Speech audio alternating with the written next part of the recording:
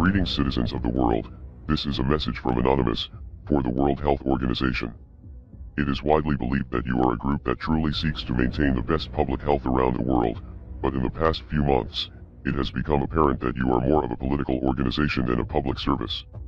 In fact, your allegiance to the governments that support you through massive financial donations has put the world in grave danger. The organization that you belong to has a very important responsibility, because it is trusted by most of the world for credible information.